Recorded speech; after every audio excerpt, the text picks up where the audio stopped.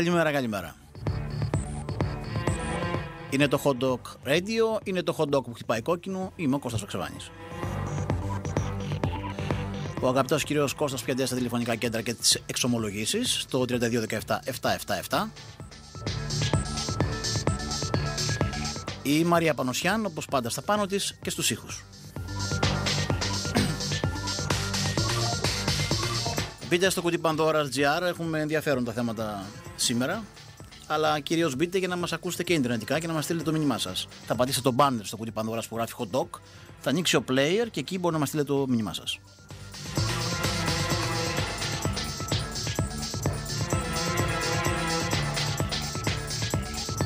Να ασχοληθούμε με ένα θέμα που δεν είναι πρώτο σήμερα, αλλά είναι πρώτο θέμα. Δημοσιογραφικά είναι και πρέπει να είναι πρώτο θέμα. Αλλά βλέπετε αυτά δεν είναι για πρώτα θέματα. Αυτά είναι για τα μονόστιλα. Ιδιαίτερα όταν αποκαλύπτουν τι έγινε τα τελευταία χρόνια και με ποιο τρόπο έγινε. Στις 23 Απριλίου του 2010, ο, του Αγίου Γεωργίου Ανήμερα, ο κύριος Γεώργιος Παπανδρέου, ο κύριος Γεώργιος Ανδρέα Παπανδρέου, ο Πρωθυπουργός, με ένα συμβολισμό που έμελε να καταλάβουμε πολύ αργότερα, με μια μοβ δηλαδή θανατερή πένθυμη γραβάτα, ανακοίνωσε την ένταξη της χώρας στον μηχανισμό στήριξης.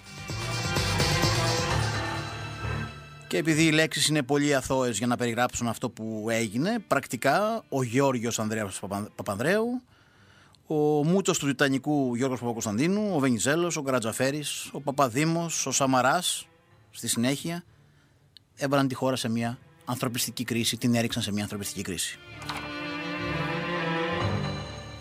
Καταδίκασαν τη χώρα στη φτώχεια, έκαναν ένα στους δύο νέους να είναι άνεργος, έκαναν τους μισθούς μισθούς Αφρικής, σάρωσαν τον ιδιωτικό τομέα αρχικώς τους εργαζόμενους και τους μικρομεσαίους σε αυτόν και στη συνέχεια ισοπαίδησαν και το δημόσιο τομέα, τον χάριζαν και τον χαρίζουν, χάρισαν τα πάντα και τα χαρίζουν στους δικούς τους ανθρώπους. Γιατί αλήθεια τα έκαναν όλα αυτά, γιατί επέλεξαν τους δρόμους των μνημονίων, γιατί λέει δεν υπήρχε άλλος δρόμος, γιατί η χώρα θα κατέρε, γιατί θα ζούσαμε την απόλυτη καταστροφή με την οποιοδήποτε, οποιαδήποτε άλλη λύση, μια ενδεχόμενη πτώχευση, δηλαδή άτακτη την έλεγα μάλιστα κιόλας, ενώ δεν υπάρχει ούτε τακτική ούτε άτακτη πτώχευση, υπάρχουν πολιτικές που επιλέγει κάποιος. Δεν υπήρχαν μόνο αυτά που έλεγαν αυτοί βεβαίως, αλλά υπήρχαν και άλλοι που έλεγαν ακριβώς τα αντίθετα, αλλά δεν μπορούσαν να περάσουν από τα κανάλια του εκφιασμού ως είδηση ή ως άποψη την εποχή εκείνη. Υπήρχαν δηλαδή πολλοί οικονομολόγοι Έλληνες, πολλοί πολιτικοί Έλληνες, κάποιοι δημοσιογράφοι Έλληνες και κάποιοι ε, ξένοι αναλυτές και κυρίως οικονομολόγοι που έλεγαν ότι η χώρα πρέπει να κάνει στάση πληρωμών και διαγραφή του χρέους. Να προχωρήσει δηλαδή μονομερός στην διαγραφή του χρέους. Το επιχείρημα ήταν πως ε, η Ευρωπαϊκή Ένωση, ε, εάν δεν συμπορευόταν με αυτή την ε, επιλογή της Ελλάδας, τότε ήταν η ίδια καταδικασμένη να καταρρεύσει. Και όταν λέμε να καταρρεύσει η Ευρωπαϊκή Ένωση, εννοούμε ότι θα κατέρε το τραπεζικό σύστημα και το χάρτινο οικοδόμημα που εμφανίζεται ως σταθερό οικοδόμημα της Ευρωπαϊκής Ενωπημένη Ένωσης. Τι είναι αυτά που λέτε, έλεγε ο κύριος Βενιζέλος. Θα καταστραφεί η χώρα, θα μας πετάξουν από την Ευρωπαϊκή Ένωση, θα βγούμε από το ευρώ. Αυτά έλεγαν για να τρομοκρατήσουν τον κόσμο. Τα είπε αργότερα και ο κύριος Σαμαράς και να μας ρίξουν στα μνημόνια. Αυτά λέει και σήμερα ο κύριος Σαμαράς, ότι είναι οι μοναδικές επιλογές που μπορούμε να κάνουμε και οποιασδήποτε άλλες επιλογές είναι επικίνδυνες, είναι επιλογές Κορέας, είναι πολιτικές ε, Σοβιετική Ένωσης και είναι πάρα πολύ επικίνδυνες γιατί θα βγούμε από το ευρώ. Σώσαμε το ευρώ, αλλά δεν έχουμε ευρώ για να πληρώσουμε.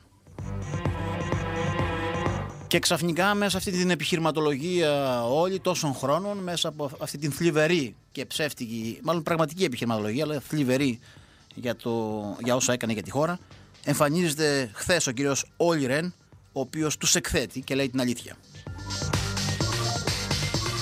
Ευθαρσός ο κύριος Ρεν δήλωσε πως έβαλαν την Ελλάδα στο μνημόνιο για να σώσουν την Ευρωπαϊκή, Τράπε... την Ευρωπαϊκή Ένωση και τις τράπεζες. Αποκαλύπτει δηλαδή και το σκοπό και την πρόθεσή τους και βέβαια πως οι ίδιοι κινδύνευαν περισσότερο από εμάς.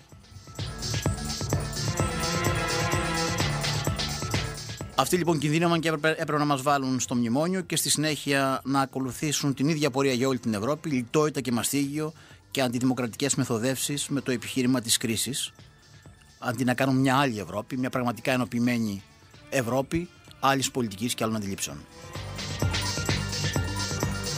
Αυτό λέει ο κύριος Όλι Ρεν. Αυτή είναι η ομολογία του κυρίου Όλι Ρεν. Δεν θα το δείτε βέβαια στα, ως πρώτο τίτλος στις εφημερίδες και στα sites σήμερα γιατί είναι πολύ αποκαλυπτικό για να μπαίνει στις πρώτες σελίδες. Αλλά επειδή ό,τι και να υπάρχει σήμερα στην επικαιρότητα νομίζω ότι το σοβαρό θέμα είναι αυτό και επειδή μπαίνει ένα θέμα για την αξιοπιστία των ίδιων ανθρώπων και για το τι λένε σήμερα και για το τι προσπαθούν να μας πείσουν ότι χρειάζεται σήμερα ας τους ακούσουμε και ας τους θυμηθούμε όλους αυτούς έναν έναν σε δικά τους ηχητικά ντοκουμέντα ξεκινώντας βεβαίως από τον εγώ. Όσες έδρες και να έχεις στη Βουλή, μόνο του να σηκώσει αυτό. Γιατί δεν μπορεί ένα κόμμα, όσες έδρες και να έχεις στη Βουλή, μόνο του να σηκώσει αυτό το βάρος. Το κορυφαίο λάθος που κάναμε είναι ότι αποφασίσαμε να πορευτούμε μόνοι μας.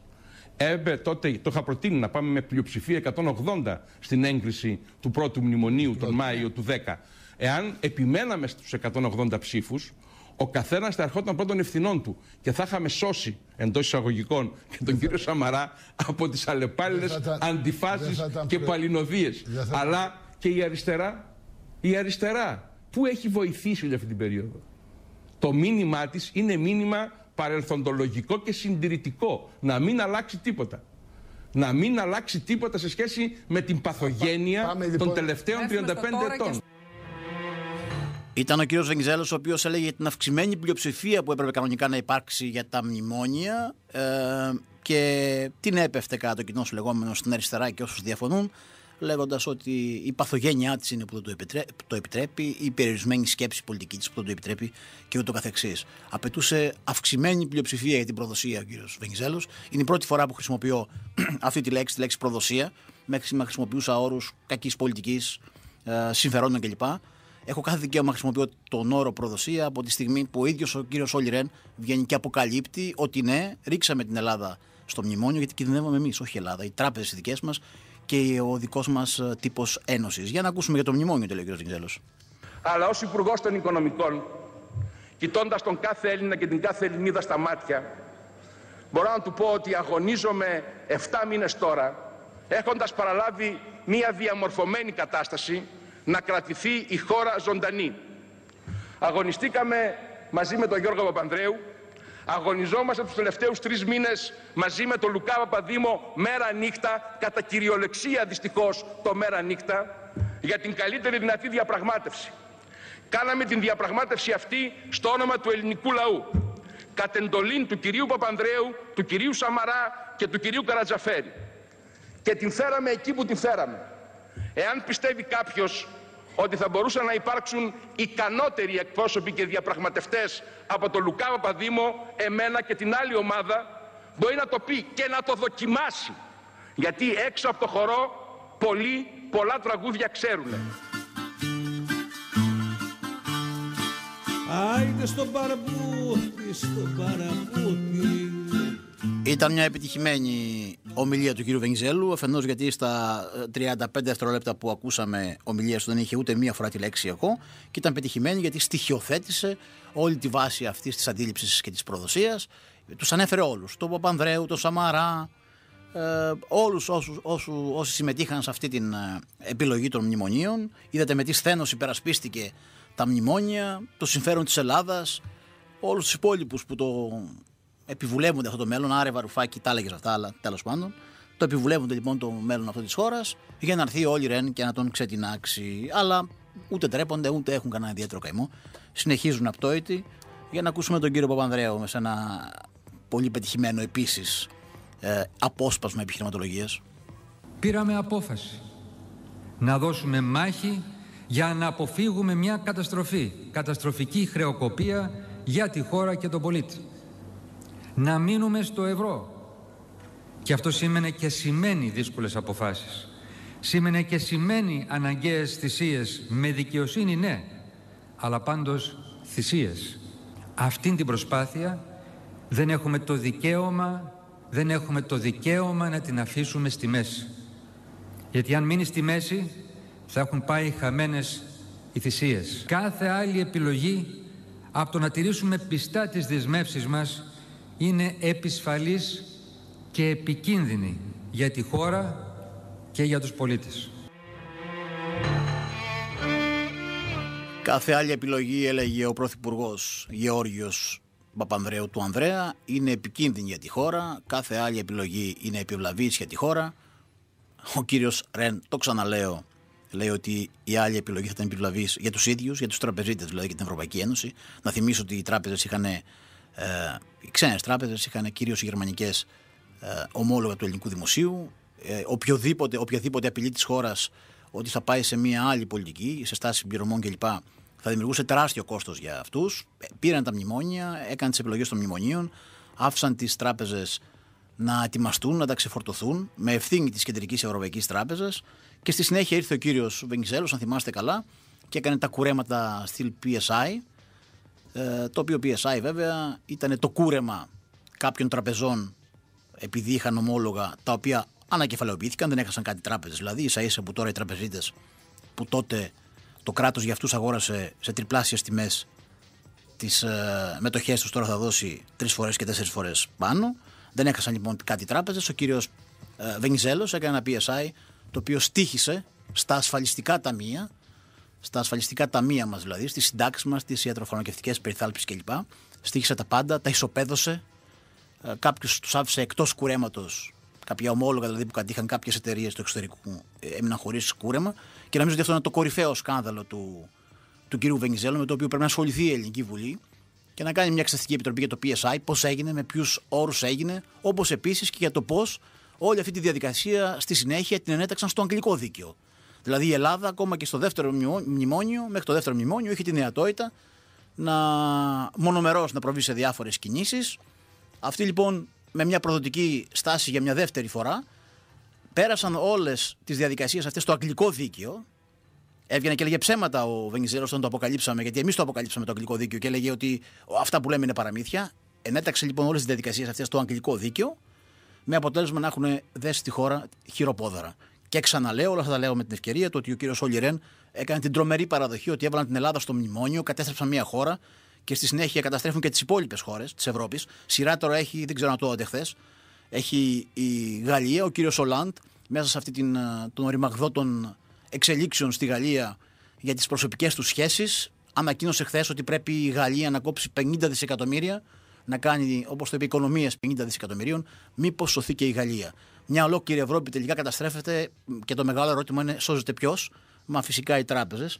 Αλλά αυτό από ό,τι φαίνεται για τον κύριο Πάγκαλο το οποίο θα ακούσουμε τώρα μια δήλωση, ήταν πάρα πολύ ευεργετικό. Το μνημόνιο είναι ευκαιρία για τον τόπο. Είναι ευτυχία για τον τόπο. Όχι για τις πλευρές τους που οδηγούν ενδεχόμενα σε ύφεση και σε, κοινωνικές, ε, σε κοινωνικά προβλήματα. Αυτό είναι η δύσκολη πλευρά. Αλλά γιατί θα αναγκαστούμε επιτέλους να κάνουμε διαρθρωτικές μεταρρυθμίσεις που επί χρόνια τώρα αποφεύγαμε και για την έλλειψη των οποίων είμαστε όλοι συνυπεύθυνοι. Ακούσατε τον κύριο Πάγκαλο, ο κύριος μαζί τα φάγανε, ο οποίος έκανε δηλώσεις περί της ευτυχίας που φέρνει το μνημόνιο. Να μην μπερδεύουμε ότι αυτό το πράγμα αναφέρονταν σε εμάς, μπορεί να αναφέρεται στον ίδιο ότι ο ίδιος είναι ευτυχής για λόγους που ο ίδιος ξέρει με το μνημόνιο. Άσχετα αν ο Όλι Ρεν λέει αυτά που λέει, και δεν ξέρω, δεν θυμάμαι τη δήλωση εκείνη του κύριου Μπάγκαλου που δεν έχει να πληρώσει τα σπίτια του, αν τελικά τα έχει πληρώσει και τι γίνεται. Α πάμε στον άλλο αστέρα της εποχής εκείνης, ο οποίος δεν τα είχε διαβάσει τα, τα μνημόνια. Πόσες ώρες κάνατε για να διαβάσετε το μνημόνιο, Εσείς είχατε μελετήσει αυτό που οι δανειστές αποτύπωναν και είχατε μια διαφορετική αποτύπωση αυτού που υπογράφατε; Γνωρίζατε δηλαδή αυτό που, αυτό που υπογράφατε; Μα σοβαρολογείτε. Αυτά συζητήθηκαν στη Βουλή. Ναι, ναι, λέω, δεν, όχι, δεν διάβασα το μνημόνιο εκείνη την εποχή. Γιατί απλούστατα είχα άλλες υποχρεώσεις και είχα άλλα καθήκοντα. Και, είχα, πώς υπογράψατε, κύριε Υπουργέ, με συγχωρείτε γιατί αυτό που λέτε είναι πολύ σοβαρό. Υπογράψατε ένα κείμενο που δεσμεύει τη, χρο... τη χώρα στου αιώνες των αιώνων να μην και μας έφτασε στο χάλι που ζούμε σήμερα και λέτε ότι δεν το διαβάσατε. Πώς το λέτε έτσι απλά; Κοιτάξτε, κοιτάξτε, στην πολιτική δεν είναι τα πράγματα έτσι. Πώς είναι; Ούτε πρέπει να είναι έτσι. Κάποιοι, κάποιοι συνάδελφοί μου διαπραγματεύτηκαν. Η κυβέρνηση η οποία εκπροσωπείται από τους ε, υπεύθυνους από τα υπεύθυνα μέλη της διαπραγματεύτηκαν, φέρανε το νομοσχέδιο αυτό στη Βουλή και το ψήφισε η πλειοψηφία, όπως θυμάστε τότε, της Βουλής μαζί, το Πασόκ και ο λαός, αν θυμάμαι υπάρχει καλά. Δηλαδή ευθύνη, υπάρχει ευθεία ευθύνη του οικονομικού επιτελείου της κυβέρνησης, του τότε οικονομικού επιτελείου της κυβέρνησης, αυτό που υπογράψαμε. Σας είπα και προηγουμένως προηγουμένως, mm. Ότι έγινε υπό το κράτος του πανικού εν ώψη της πάυσης πληρωμών που ήταν πάνω από το κεφάλι Με την πλάτη στον τοίχο που λέμε. Λοιπόν, με την πλάτη στον τοίχο. Λοιπόν, η δική μου δουλειά τότες ήταν να οργανώσω ξανά την αστυνομία, την πυροσβεστική, να φτιάξω την ομάδα Δία, να καταπολεμήσω το έγκλημα. Λοιπόν, δεν ήταν η δουλειά μου να μελετήσω το μνημόνιο. Τότες, που λέει και ο κύριος ε, Χρυσοχοίδης, τότες, όχι τότε, η δουλειά του ήταν να κάνει άλλα πράγματα, να μελετήσει για τα πυροσβεστικά και την ομάδα Δίας κλπ. κλπ, κλπ. Ε, δεν το πρόλαβα να το διαβάσει το μνημόνιο. Φαντάζομαι το δεύτερο που το ψήφισε το διάβασε και το τρίτο που θα έρθει ότι επίσης θα το διαβάσει. Αλλά, εν πάση περιπτώσει, ακούστε το, θύμισε ο κύριος Χρυσοχοίδης το επιχείρημα της εποχής. Ήμασταν με τον εφιάλτη, λέει με την πλάτη στον τοίχο, με τον εφιάλτη της πάυσης πληρωμών. Εμφάνιζαν την, παύση, την πάυση πληρωμών την εποχή εκείνη ως έναν εφιάλτη για την Ελλάδα. Την απόφαση δηλαδή της Ελλάδας να πει ότι εγώ δεν πληρώνω το χρέος, γιατί δεν πρέπει να πληρώσω το χρέος. Γιατί αυτό προβλέπεται από τους νόμους της αγοράς, όχι από τους κομμουνιστικούς, σοσιαλιστικούς ή όποιους άλλους νόμους της αγοράς. Από αυτούς τους καπιταλιστικούς νόμους της αγοράς υπάρχουν χώρες οι οποίες προχώρησαν στην πάυση πληρωμών, όπως είναι η Ισλανδία για παράδειγμα, η οποία αυτή τη στιγμή έχει τέσσερις τραπεζίτες στη φυλακή και ε, έχει 4,5-5% ανάπτυξη, όταν εμείς έχουμε 7 με 7,5% ύφεση. Λοιπόν, εμφάνιζαν έντονα την εποχή εκείνη την πάυση πληρωμών, δηλαδή το να πάει η Ελλάδα και να πει ότι εμείς πάμε σε πάυση πληρωμών, δεν πληρώνουμε το χρέος. Ε, κάνουμε, προχωράμε ενδεχομένως στη, στη δραχμή, δεν ξέρω ποια διαδικασία ή ποια απειλή θα εφεύρει η Ελλάδα. Αυτό θα ανάγκαζε την Ευρωπαϊκή Ένωση, την όχι και τόσο αθώα Ευρωπαϊκή Ένωση των τραπεζιτών τελικά, να έρθει σε μια διαπραγμάτευση γιατί κινδύνευε όπως ξαναλέω είπε χθες όλοι Ρεν, κινδύνευε να καθαρεύσει η Ευρωπαϊκή Ένωση και απλώς έβαλαν την Ελλάδα στο παιχνίδι και τις ευρωπαϊκές χώρες τις υπόλοιπες για να, για να τελειώνουν. Βέβαια η στάση τους ήταν, αντίστοιχη, ήταν αντίστοιχη και το επόμενο διάστημα. Και δεν εννοώ, το, δεν εννοώ μόνο το δεύτερο μνημόνιο. Ενώ όταν υπήρξαν οι φημολογίες ή οι ευκαιρίες του κουρέματος, κυκλοφορούσε μια φήμη τότε όταν υπουργός ήταν ο κ. Παπακοσταντίνου, για το κούρεμα ο κ. Παπα-Κωνσταντίνου συστηματικά εμφάνιζε το κούρεμα ως κάτι κακό. Δηλαδή, ακόμα και σε αυτούς που καλόπιστα από τον δικό του κύκλο έλεγαν και γιατί δεν προχωράμε, γιατί δεν μπαίνουμε σε μια διαπραγμάτευση για κούρεμα. Δεν είναι κακό αυτό. Τι έλεγε ο κύριος Παπα-Κωνσταντίνου. Επειδή ακούγονται διάφορα περί αναδιάρθρωσης και το καθεξής. Η αναδιάρθρωση θα ήταν το κούρεμα του χρέους, για να καταλαβαίνει ο κόσμος, θα ήταν τεράστιο λάθος για τη χώρα. Θα ήταν πάρα πολύ μεγάλο κόστος και δεν θα είχαμε και το όφελος θα μέναμε εκτός αγορών για 10-15 χρόνια, θα ε, απομειωνόταν η περιουσία των ε, ελληνικών ασφαλιστικών ταμείων, θα είχαμε προβλήματα στο τραπεζικό σύστημα, άρα στην πραγματική οικονομία. Έτσι. Ας, ας μην ψάχνουμε ε, λύσεις όταν ακόμα οτιδήποτε και να συμβεί, το βασικό μας ζήτημα είναι, πείτε το χρέος αύριο πρωί με ένα μαγικό τρόπο το μειώναμε 50%. Έτσι ερχόταν κάποιος και μας έδινε ε, 170 δις και από τα 340 το πηγαίναμε στα 170. Ωραία. Δεν πρέπει κάθε χρόνο να μην δημιουργούμε νέο χρέος. Δεν πρέπει να ισοσκελίσουμε τις δαπάνες μας και τα έσοδα. Ακούσατε τι είπε ο υπάλληλος. Είπε και να κόψουμε το, το χρέος, το πάμε στο μισό, δεν, ε, δεν είναι κάτι σπουδαίο, αφού θα συνεχίζουμε να παράγουμε χρέος. Δηλαδή το γεγονός ότι ε, δεν υπάρχει η, η δυνατότητα να μην παράγουμε χρέος σημαίνει ότι δεν πρέπει να κουρευτεί το χρέος, ακόμα και αν οι άλλοι θέλουν να το κουρέψουν. Αυτό τελικώς δεν ήταν μια αστοχία του κυρίου Παπα-Κωνσταντίνου. Γιατί μετά είδατε ότι το χρέος κουρεύτηκε όπως κουρεύτηκε, δεν άλλαξε βέβαια. Δεν έπαψε να είναι ε, μη βιώσιμο. Συνεχίζει να είναι μη βιώσιμο μια μεγάλη τρύπα στην οποία ρίχνουμε διάφορα γιατί μπαίνουν οι τόκοι, μπαίνουν τα πανωτόκια, μπαίνουν τα σχετικά. Είναι όπως οι τράπεζες. Έχεις πάρει ένα δάνειο, το πληρώνεις, το ξαναπληρώνεις, το ξαναπληρώνεις και οι τόκοι τρέχουν και τελικά φτάνεις, μπορεί να φτάσει σε ένα σημείο που μπορεί να το πληρώσεις. Δεν ήταν λοιπόν μια αστοχία του κυρίου Παπα-Κωνσταντίνου ήταν η λειτουργία ενός υπαλλήλου, ο οποίος πριν από καιρό είχε αποκαλύψει, αποκαλύψει αυτό το οποίο θα γίνει και το οποίο δεν ξέρω αν είδατε τα δημοσιεύματα με τους Financial Times, ο κύριος Τουρνάρας επανέλαβε. Δηλαδή, ο Έλληνας Υπουργός Οικονομικών, ο άνθρωπος τον οποίο έχουμε αναθέσει την διαχείριση της οικονομικής πολιτικής, ο άνθρωπος τον οποίο έχουμε αναθέσει και την διαπραγμάτευση με τους δανειστές, αν θέλετε, αν πάμε με τη δικιά τους λογική, τι έκανε. Συναντήθηκε κάποια στιγμή με την κυρία Λαγκάρντ, με την ε, υπεύθυνη του Διεθνούς Νομισματικού Ταμείου. Δηλαδή, το ΔΝΤ είναι από αυτούς που μας έριξαν σε αυτή τη διαδικασία και παρόλα αυτά, επειδή το Δούνου του δεν μπορεί να αποτυχάνει συνεχώς, πρέπει να μην τα τεινάξει όλα στον αέρα για να μπορεί να έχει παρεμβάσεις της διεθνής οικονομίας στο μέλλον με τον τρόπο που θέλει αυτό το σύστημα. Τι έκανε λοιπόν η κυρία Λαγκάρντ, είπε στον κύριο Στουρνάρα, θα πας και θα πεις ότι θέλω χρέ, ε, μείωση του χρέους, κούρεμα του χρέους και εγώ θα σε στηρίξω. Οι πληροφορίες του Γιάννη Βαρουφάκη, θα τις διαβάσετε στο hot dog την Πέμπτη, μιλάνε για μια μείωση του χρέους που είχε προτείνει γύρω στα 100 δισεκατομμύρια. Θα κόβαμε δηλαδή 100 δισεκατομμύρια από το χρέος.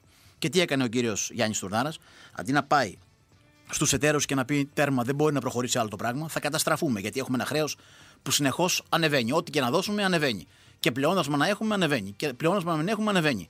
Θα το κουρέψουμε λοιπόν για να μπορέσουμε να μιλάμε για ένα. ότι υπάρχει ένα, ένα χρέος στο, στο οποίο να μπορούμε να ανταπεξέλθουμε. Αντί να κάνει αυτό και να βγει Λαγκάρντ να πει ναι, συμφωνώ και να τους πιέσουν ώστε να έχουμε μια προσπάθεια, πήγε το στο Σόιμπλε.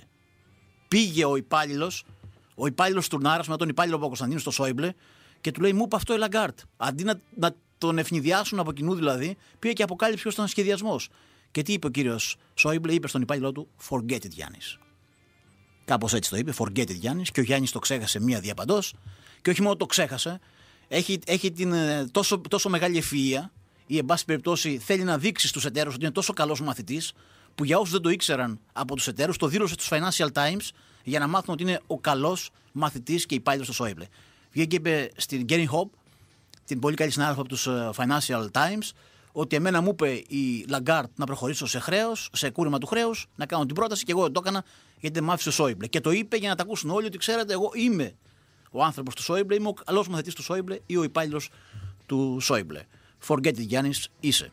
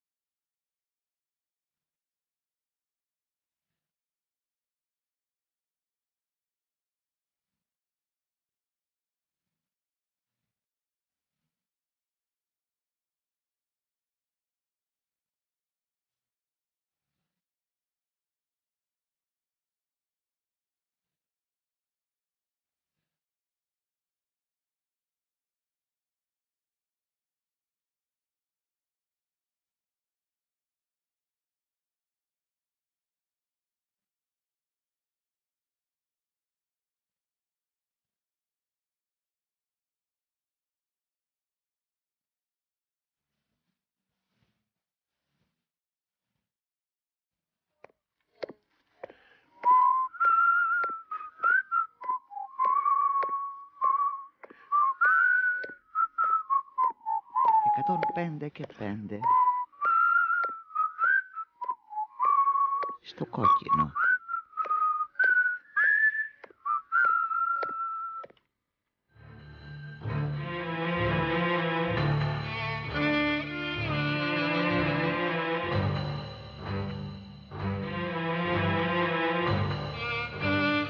Καλημέρα και πάλι, καλημέρα σε όσους τώρα ανοίξετε το διαδίκτυο ή το ραδιόφωνο σας. Είναι το hot dog που χτυπάει κόκκινο. Ανοίξτε το κουτί Pandora.gr, μπείτε, χτυπήστε το banner που γράφει hot dog radio, ακούστε μας και στείλτε μας το μήνυμά σας.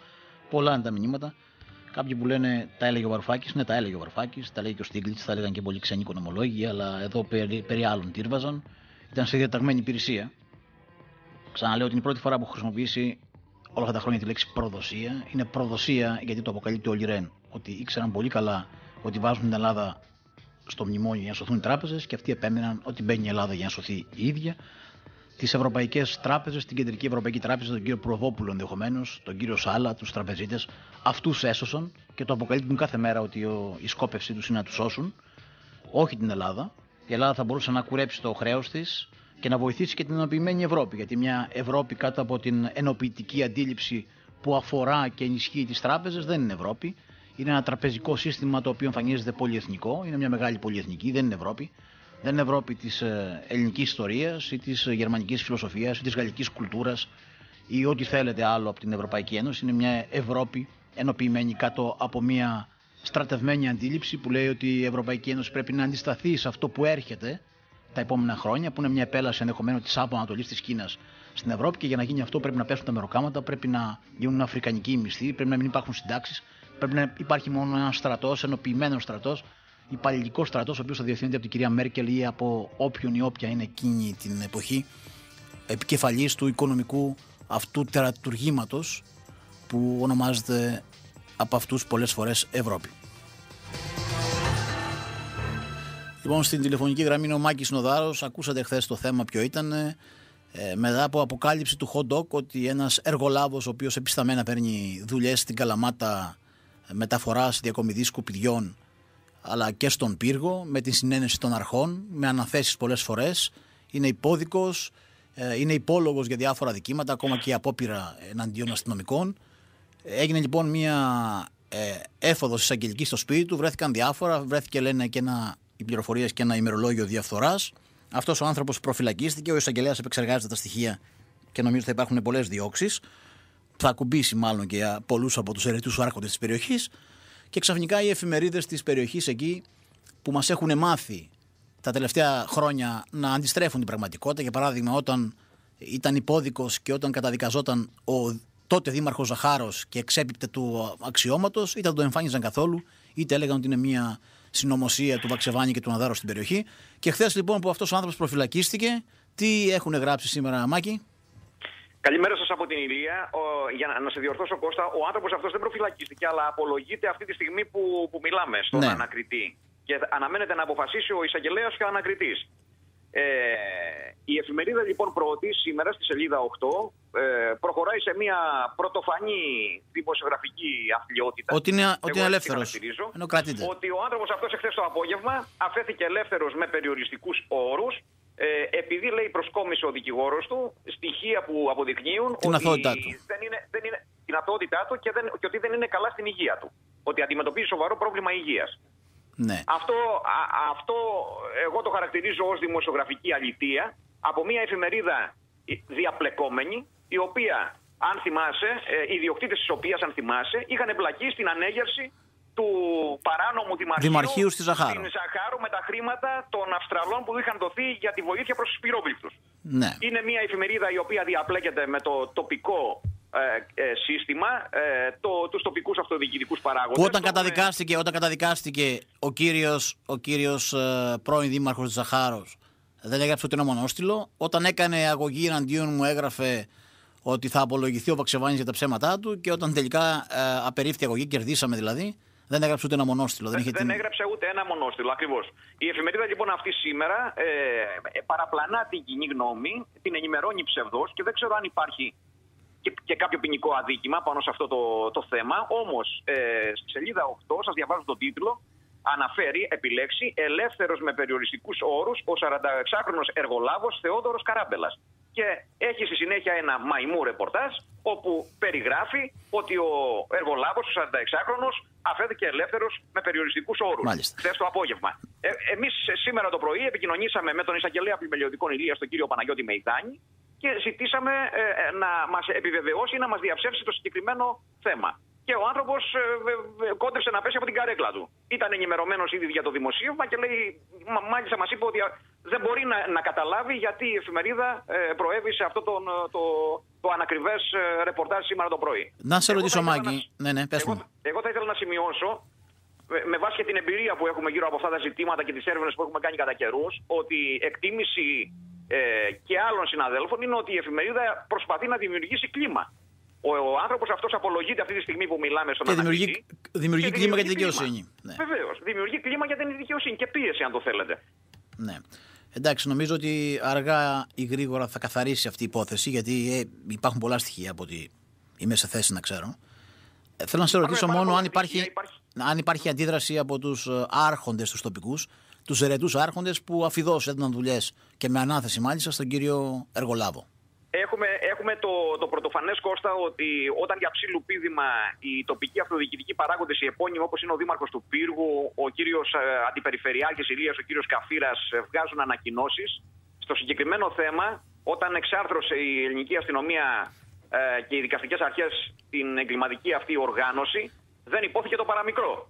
Παρότι μάλιστα όλοι αυτοί συναλλάσσονταν με το συγκεκριμένο εργολάβο δίνοντάς του έργα είτε μετά από περίεργους διαγωνισμούς είτε με απευθείας αναθέσεις. Δεν έχει υποθεί τίποτα, το παραμικρό. Επίσης, ήθελα να σας ενημερώσω, δεν ξέρω αν το γνωρίζετε, ότι έγινε ένα.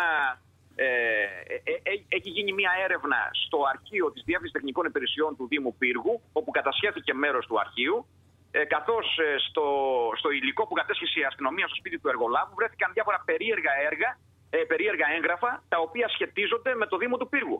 Δηλαδή ουσιαστικά αποκαλύπτεται, μάλλον επιβεβαιώνεται το ρεπορτάζ του Χοντόκ πριν από μερικούς μήνες για τις σχέσεις διαπλοκής που υπήρχε μεταξύ του συγκεκριμένου εργολάβου και των τοπικών αυτοδιοικητικών παραγόντων. Ε, η σιωπή μόνο που υπάρχει από τις από τις ε, αρχές εκεί τις τοπικές νομίζω ότι είναι εξίσου επιβεβαιωτική με την εισαγγελική έρευνα, αν και θεωρητική. Θα δούμε νομίζω το επόμενο διάστημα. Σε ευχαριστώ πολύ, Μάκη. Ευχαριστώ Καλή και εγώ. συνέχεια. Γεια σας.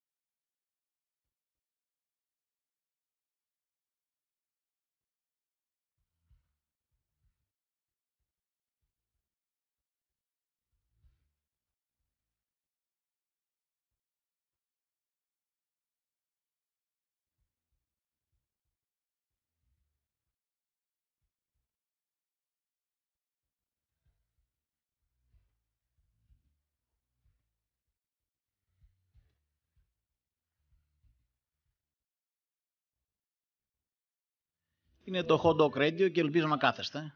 Ελπίζω να κάθεστε γιατί έχουμε μια, έτσι, ένα θέμα με τον κύριο Θεοχάρη, Χάρη Θεοχάρη, ο οποίος είναι ο Γενικός Γραμματέας Εσόδων του Υπουργείου Οικονομικών. Ο κύριος Θεοχάρης έχει αναλάβει την ίσπραξη των εσόδων, τον, την ίσπραξη των εσόδων που προκύπτουν από την συνεχή αλλεπάλληλη φορολόγησή μας. Και όταν λέμε φορολόγηση, εννοούμε ακόμα σχεδόν και του αέρα που αναπνέουμε. Λοιπόν, γιατί μπαίνουν όλοι αυτοί οι φόροι για να σωθεί η χώρα και να παρουσιάσει ο κύριος Στουρνάρας πλεόνασμα. Γιατί το πλεόνασμα το οποίο, αν υποθέσουμε ότι είναι πραγματικό, το οποίο δεν είναι πραγματικό το πλεόνασμα, γιατί για παράδειγμα συμπεριλαμβάνονται γύρω στα 2, δισεκατο... 2 δισεκατομμύρια ως έσοδα, ως έσοδα προπολογισμού, που δεν είναι προπολογισμού, ενώ είναι έσοδα που προκύπτουν από χρωστούμενα των Ευρωπαϊκών Τραπεζών στην Ελλάδα. Είχαμε κάνει το, είχαν κάνει αυτή την αλχημία τότε η, τράπεζα, η Κεντρική Τράπεζα της Ευρώπης να πάρει τα ομόλογα του δημοσίου να τα πάρει για 60 δισεκατομμύρια δολάρια, ε, μάλλον ονομαστική αξία 60 δισεκατομμυρίων, να τα αγοράσει 40 και μετά να μας τα πουλήσει για 60, βάζοντας και τους τόκου και τότε είχαν προκύψει κάποια έσοδα για τις τράπεζες. Και για να μας εξευμενήσουν, είπαν να μας δώσουν γύρω στο 1,5 με 2 δισεκατομμύριο πίσω και αυτό το βάζουν στον προπολογισμό ως έσοδο προπολογισμού, ενώ είναι μια ε, πρόσκαιρη έτσι, ε, ένα πρόσκαιρο έσοδο το οποίο δεν μπορεί να συμπεριλαμβάνεται στην οικονομική πολιτική, δεν μπορεί να καταλογίζεται στην οικονομική πολιτική της κυβέρνησης. Σε πάση περιπτώσει όμως, αφού φορολόγησαν τα πάντα για να παρουσιάσουν και αυτό το πλεόνασμα, αφού κάνουν α, τα πάντα που έχουν στην πλάτη λέξη φόρος, δικαιολογημένος μάλιστα για αυτούς φόρος, τι άλλο έκανε ο κύριος Θεοχάρης. Ο κύριος Θεοχάρης κατάφερε να εξασφαλίσει να ψηφιστεί ο νόμος 4093 του 2012. Τι προβλέπει λοιπόν αυτός ο νόμος; Αυτός ο νόμος μεταξύ των άλλων που λέει και αφορούν την φορολόγηση ε, έχει ένα άρθρο, έχει το άρθρο 6 που στην παράγραφο Β προβλέπει ότι ο κύριος Θεοχάρης με τη σύμφωνη γνώμη του Υπουργού Οικονομικών και του Υπουργού Διοικητικής Μεταρρύθμισης και Ηλεκτρονική Διακυβέρνησης, μετά την ίσπραξη των φόρων, θα έχει δικαίωμα σε μια ετήσια ειδική ανταμοιβή μπόνους. Ο Γενικός Γραμματέας Δημοσίων Εσόδων θα παίρνει μπόνους από την είσπραξη των φόρων και τη φορολόγησή μας. Βέβαια, καταλαβαίνετε ποια είναι η είσπραξη των φόρων. Η είσπραξη των φόρων είναι μονομερής πάντα, αφορά εμάς. Γιατί ανοίγω μια παρένθεση εδώ πέρα και συγχωρήστε με. Χθες στην Επιτροπή Διαφάνειας της Βουλής κατέθετε ο κ. Στασινόπουλος, ο, ο επικεφαλής του ΣΔΟΕ, ο οποίος έκανε την παραδοχή ότι από, τα 2000, από τις 2062 καρτέλες επιμένουμε και λέμε από όταν αποκαλύψαμε τη λίστα Λαγκάρντ ότι δεν είναι 2062 ονόματα. Είναι 2062 καρτέλες με τις οποίες διασυνδέονται δικαιούχοι πολλαπλάσιοι ή σχετιζόμενοι όπως είναι η κυρία Μανολίδου ας πούμε. Η κυρία Μανολίδου είναι, είναι σχετιζόμενη με έναν λογαριασμό. Είναι από αυτούς που πρέπει να ελεγχθεί για παράδειγμα ποια είναι η σχέση με λογαριασμό. Λοιπόν, έκανε την παραδοχή ο κύριος ε, Στασινόπουλος από τις 2062 καρτέλες, δηλαδή πάνω από 5.000-6.000 άτομα, τόσοι είναι αυτοί, υπολογίζουμε εμείς, από αυτούς όλους έχουν ελέγξει 5 άτομα. Και τα τρία από αυτά είναι αυτοί που εκ των πραγμάτων έπρεπε να ελέγξουν, δηλαδή οι τρεις συγγενείς του Παπακωνσταντίνου που τα ονόματά τους δεν ήταν στη λίστα. Είχαν αφαιρεθεί από την ε, λίστα Λαγκάρντ που παρέδωσε ο κύριος, που παραδόθηκε στο γραφείο του Πρωθυπουργού. Λοιπόν, άρα έχουν ελέγξει άλλους δύο. Από τους 5.000 περίπου λέμε εμείς, ας πούμε και 2.062 αν θέλουν αυτοί, από τους τόσους ανθρώπους έχουν ελέγξει μόνο, μόνο δύο. Άρα λοιπόν μπαίνει ένα θέμα από πού εισπράττουν τους φόρους. Δεν εισπράττουν τους φόρους από τους Λαγκαρδιανούς, ή από τις χιλιάδες λίστες, από τα χιλιάδες ονόματα των ληστών που έχουν στα γραφεία τους, μονομερός από τους ε, από τους εργαζόμενους σε τη χώρα, από τους μισθωτούς. Και έρχεται λοιπόν ο κύριος ο κύριος Θεοχάρης και λέει ότι πρέπει και εγκρίνεται να εισπράττει μπόνους από αυτά που εισπράττει. Δηλαδή, ένας λειτουργός της χώρας, ένας κυβερνητικός δημόσιος λειτουργός, με την ευρεία έννοια, ο οποίος οικειοθελώ βρίσκεται στη θέση που βρίσκεται, για να εξυπηρετήσει τη, τη χώρα. Θυσιάζεται κι αυτός όπως ο κύριος Βενιζέλος και πολλοί άλλοι για τη χώρα. Κανένας δεν του πήγαινε να μπεις εκεί πέρα και παίρνει, φαντάζομαι, και ένα μεγάλο μισθό. Είναι τόση, είναι, είναι τόση η ανεσχυντία τους, είναι τέτοια η ξεδιαντροπιά τους, που απαιτούν από τους εαυτού, τους εαυτούς τους να παίρνουν μπόνους για τα έσοδα που εισπράττουν από εμάς. Δηλαδή δεν λένε, δεν λένε καν ότι εγώ λειτουργώ υπέρ της χώρας, δεν λένε καν ότι εγώ πληρώνομαι από αυτό. Έχουν για τον εαυτό τους και μπόνους από όλη αυτή την τις επιλογές που κάνουν από αυτή την πολιτική που εφαρμόζουν. Διαβάζω λοιπόν το άρθρο του νόμου 4093 του 2012, το παράγραφο Β του άρθρου 6 ξανά. Με κοινή απόφαση του Υπουργού Οικονομικών και του Υπουργού Διοικητικής Μεταρρύθμισης και Ηλεκτρονικής Διακυβέρνησης, η οποία δημοσιεύεται στην εφημερίδα της κυβερνήσεως, μπορεί να προβλέπεται ετήσια ειδική ανταμοιβή μπόνους του Γενικού Γραμματέα Δημοσίων Εσόδων ως ποσοστό επί των εισπράξεων της Γενικής Γραμματείας που υπερβαίνουν τον ετήσιο στόχο. Αν ήθελα να το πω χοντρά, θα το έλεγα ότι ο κύριος ε, Θεοχάρης ή όποιος θα είναι στη θέση αυτή παίρνει μια νόμιμη μίζα από την φορολόγηση που κάνει εναντίον μας. Γιατί δεν πρόκειται για φορολόγηση υπέρ του κράτους, είναι μια φορολόγηση εναντίον μας. Αυτό λοιπόν είναι το κατόρθωμα, αυτή είναι η πολιτική, αυτό σημαίνει νεοφιλελευθερισμός. Σημαίνει ότι λειτουργίες που αφορούν το κράτος, που είναι οικειοθελής προσφορά ή που είναι και αμοιβόμενη προσφορά, αν θέλετε, να τραβιέται από τα μαλλιά και να φτιάχνει να φτάνει στα άκρα της κερδοσκοπίας και της κερδοσκοπικής αντίληψης. Γενικός γραμματέας του Υπουργείου να παίρνει νόμιμη μίζα επί των εσόδων που έχει υποχρέωση να εισπράττει. Αλλά πρέπει αυτό να το συνδυάσουμε με μια κερδοσκοπία, με ένα κέρδος που είναι προσωπικό. Δεν ξέρω αν αυτό το πράγμα λέγεται ευνομούμενη πολιτεία, δεν ξέρω αν στις συνθήκες που ζούμε που δεν έχει ο κόσμος να φάει και τρώει τα σκουπίδια, αν έχουμε δικαίωμα καν να αναφέρουμε τις πιθανότητες να θεσπίσουμε κάτι τέτοιο, πόσο δε μάλλον να το θεσπίζουμε. Ντροπή το θεωρώ, όπως θεωρώ και παράδεκτο το ότι ο κύριος Θεοχάρης προχωράει όπως καταγγέλει το Σωματείο, όπως καταγγέλει το, το Διοικητικό Συμβούλιο των Επιθεωρητών του Υπουργείου Οικονομικών. Πρόκειται για το, ίσως για το πιο ε, αρχαίο θεσπισμένο, το πιο παλιό θεσπισμένο όργανο στο Υπουργείο Οικονομικών. Είναι οι ελεγκτές, λειτουργεί από το 1860. Είναι οι ελεγκτές οι οποίοι κάνουν επιθεωρήσεις. Τις σοβαρές μεγάλες επιθεωρήσεις που αφορούν επιχειρήσεις ε, και είναι και, αν θέλετε, και υπεύθυνοι για πολλά, για το ότι έχουμε μάθει πολλά σκάνδαλα από αυτά τα οποία γίνονται σε αυτή τη χώρα. Αυτό λοιπόν όλο το, το τμήμα καταργείται, τελειώνει. Στη θέση του, αντί για αυτό το, το τμήμα που υπάρχει, που δεν είναι ελεγχόμενο από τον Υπουργό, δημιουργείται ένα ελεγχόμενο από τον Υπουργό τμήμα εσωτερικών υποθέσεων ή κάπως έτσι, που από την Αθήνα και τη Θεσσαλονίκη θα ελέγχει όλη την Ελλάδα, αφού καταργούνται οι περιφερειακές, ε, τα περιφερειακά όργανα των επιθεωρητών και γιατί γίνονται όλα αυτά, θα πει κάποιος. Κάποιος πονηρός θα πει ότι γίνονται όλα αυτά για να μπορεί ο κάθε υπουργός να ελέγχει με τον τρόπο που θέλει να ελέγχει ότι ελέγχει, αν το ελέγχει. Το δεύτερο είναι αυτό το οποίο ομολογεί ο κύριος Θεοχάρης. Διαβάζω εδώ ε, μια, ένα άρθρο του το 2013.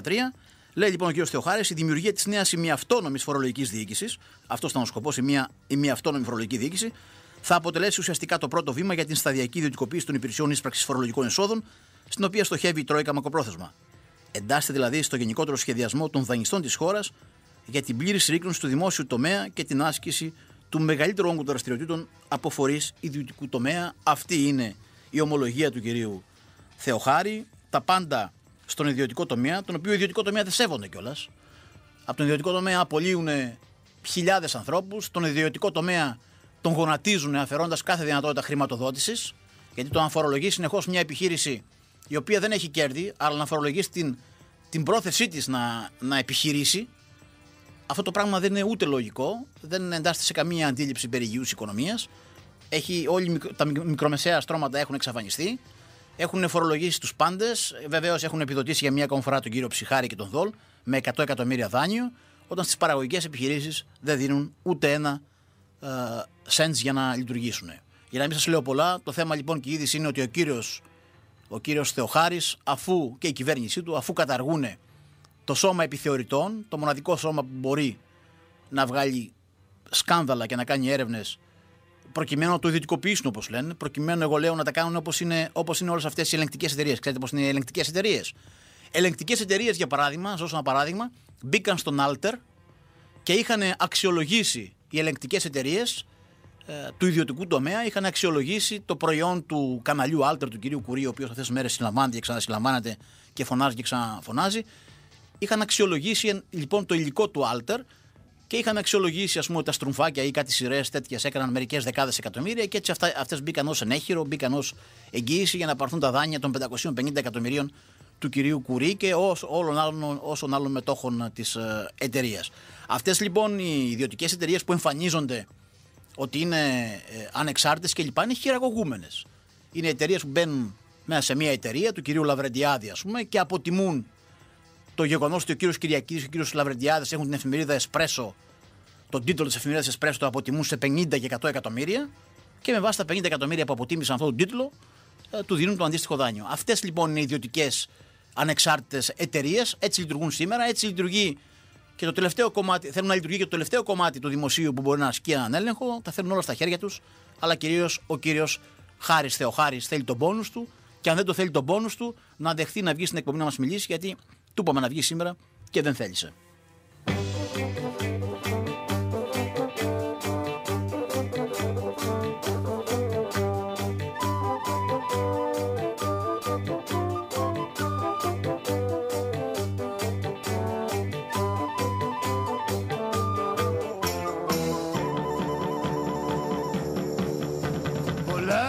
ψέματα που είπαμε ως εδώ Ας πούμε και μια αλήθεια κι ας πέσει στο γυαλό. Ο κόσμος είναι ζώρικος και εμείς ασθενικοί Και ό,τι πούμε το παίρνει βουή σημαία. Από νάιλον υψώνουμε σημαία. Πλαστική. Ο κόσμος δεν έχει τίποτα να χάσει Και τίποτε να βρει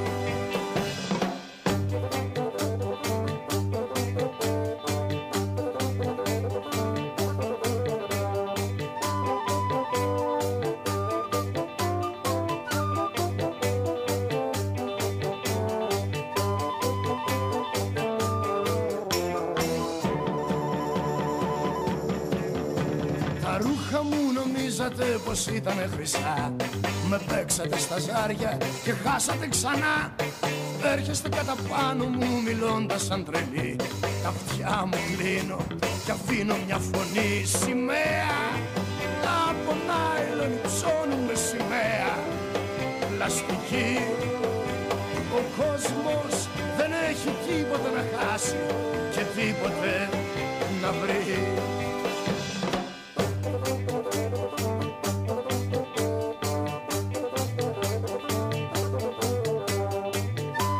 Είπαμε πολλά σήμερα για την Ευρωπαϊκή Ένωση, για τις, για τις δηλώσεις του κυρίου Όλι Ρεν, που αποκαλύπτουν το πώς φτάσαμε στο μνημόνιο, μας έριξαν στο μνημόνιο για να γλιτώσουν οι ευρωπαϊκές τράπεζες. Τελικώς αυτή είναι η Ευρωπαϊκή Ένωση, είναι μια Ευρωπαϊκή Ένωση στην οποία πηγαίνει για συνέντευξη ο κύριος Σολάντ και ενώ ετοιμάζονται όλοι για να τον ρωτήσουν για το προσωπικό του κέρατο, γιατί αυτή, αυτή την περιπέτεια που είχε με την ηθοποιό σε βάρος της δεύτερης συζύγου του, ε, εκεί λοιπόν που ετοιμάζονται να το ρωτήσουν και το ρωτάνε τελικώς ότι τι λέτε γι' αυτό. Ο κύριος Σολάντ λέει: Αφήστε τα προσωπικά θέματα. Πρέπει να σας μιλήσω για ένα άλλο κέρατο. Σχολιάζω εγώ για αυτό των 50 δισεκατομμυρίων που θα χρειαστεί η Γαλλία την επόμενη χρονιά. Αυτή είναι η Ευρωπαϊκή Ένωση την οποία έχουν φτιάξει. Το δίλημα είναι ένα, Ευρωπαϊκή Ένωση που θα ορίζεται, που τις πολιτικές θα ορίζουν οι ανάγκες του κόσμου και των κρατών, η Ευρωπαϊκή Ένωση των οποίων τις πολιτικές θα ορίζουν οι τράπεζες. Αυτοί θέλουν το δεύτερο, εμείς θέλουμε το πρώτο. Καλή σας μέρα.